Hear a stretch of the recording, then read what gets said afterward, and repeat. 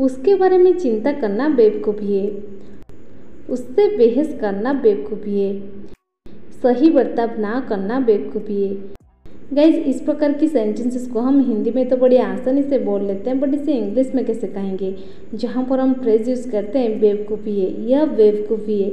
इसे हम इंग्लिश में कहते हैं it is foolish it is foolish चलिए इसको सेंटेंस में कैसे यूज़ करेंगे, इसका कॉम्प्लीट स्ट्रक्चर देख लेते हैं। पहले आपको लिखना पड़ेगा इट इज़ फुलिस इसके बाद जेडन फॉर्म इसके बाद आपको यूज़ कर देनी है अदर वर्ड्स चलिए कुछ एग्ज़ाम्पल के मदद से इसे और भी बेहतर समझने की कोशिश करते हैं। इस समय बाहर जाना बेवकूफ़ी है। It is foolish going outside at this time it is foolish going outside at this time उसके बारे में चिंता करना बेवकूफ़ी है। It is foolish worrying about it It is foolish worrying about it.